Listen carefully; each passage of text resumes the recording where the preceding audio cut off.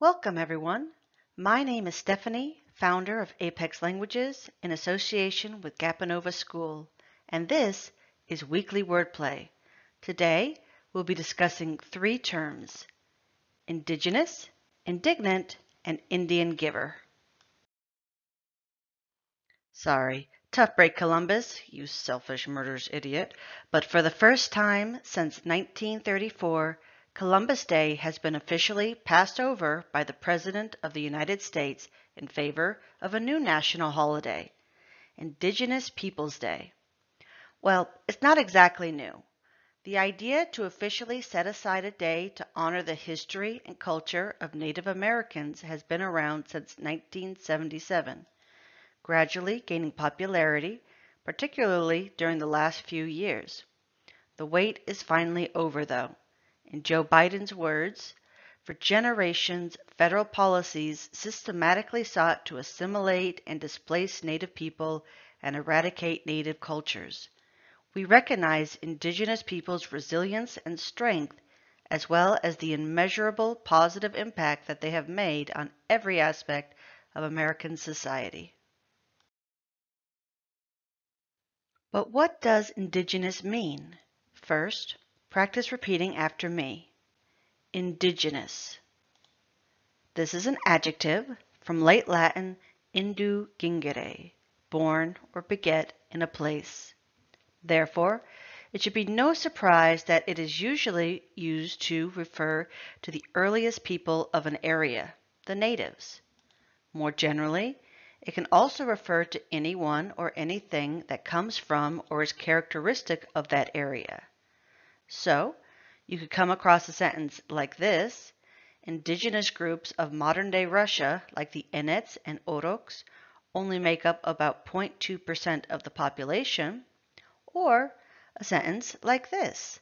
Plants indigenous to our area are at great risk due to foreign invasive species.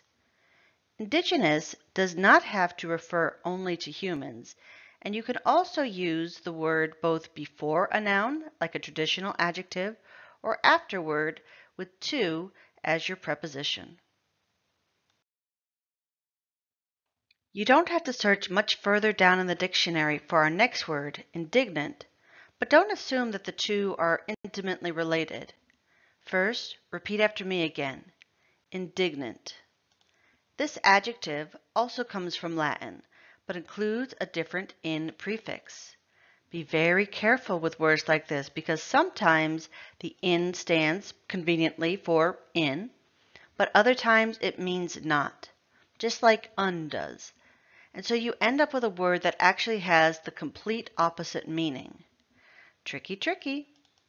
In this case, indignant originally meant not worthy, as in you deem something not worthy of your time and, as a result, you act impatient, reluctant, or even angry if you still have to deal with it. Nowadays, it just kept the angry meaning mostly, an offended kind of angry. For example, this is the indignant expression of someone from the country of India learning that we also call our Native Americans Indians.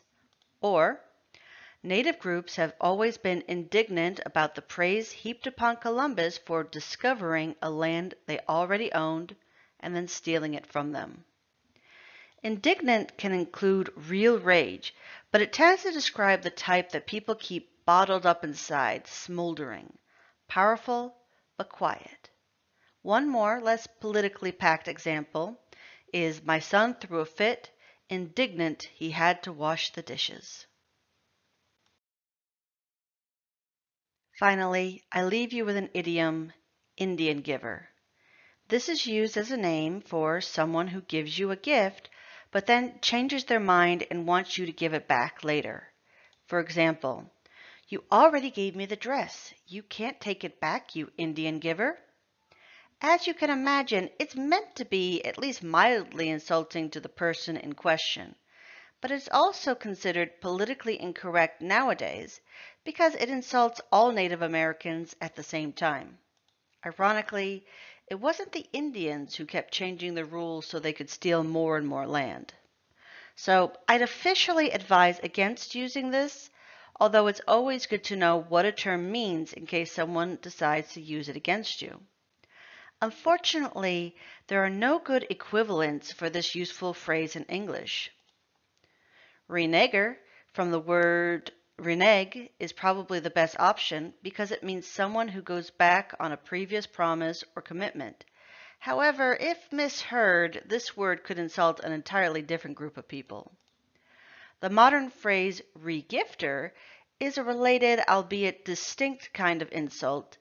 It is used for people who, having received a present they don't really like, pass it on as a gift to someone else. Now it's time for practice. In the comments below, use the vocabulary to share your thoughts about which holiday you would rather celebrate, Columbus Day or Indigenous Peoples Day. You're always welcome to disagree with me, and it's okay to be indignant, but also be respectful, of course. Thanks for watching.